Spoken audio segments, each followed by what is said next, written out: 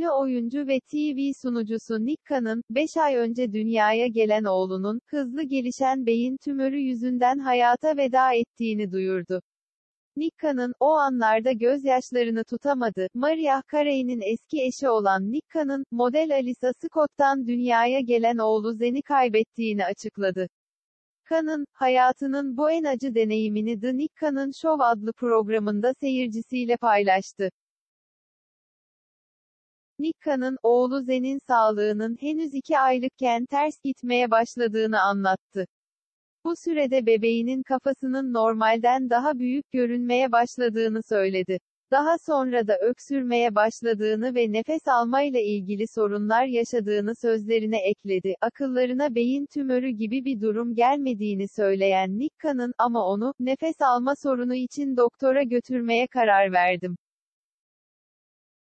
Bunun sıradan bir durum olduğunu düşündük dedi. Cannon, pazar sabahı kendisi ve sevgilisi Alisa Scott ile birlikte uyandıklarını ve bebeği de alıp sahile gittiklerini anlattı.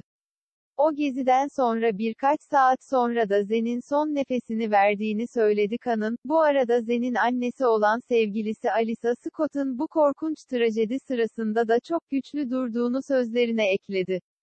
Cannon, Zen'in annesi Alisa, gördüğüm en güçlü kadın, hiç tartışmadı, hiç sinirlemedi. En iyi anneydi ve en iyi anne olmaya devam edecek diye sözlerini sürdürdü. Sadece 5 ay yaşayabilen Zen, Nick Cannon'un 7. çocuğuydu. Cannon, geçen Haziran ayında, birbirine yakın zamanlarda farklı kadınlardan dünyaya gelen bebekleriyle konuşulmuştu.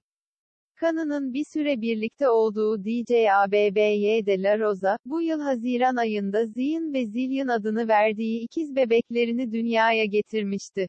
Zion ve Zillion, Nick Cannon'ın sahip olduğu tek ikizler değil. Cannon, ünlü şarkıcı Mariah Carey ile 2008'de başlayıp 2016'da biten evliliğinden biri kız diğeri erkek ikiz çocuk babası olmuştu. Cannon ile Mariah Carey'nin evliliğinden dünyaya gelen Moro John Scott ve Monroe, şu anda 10 yaşında.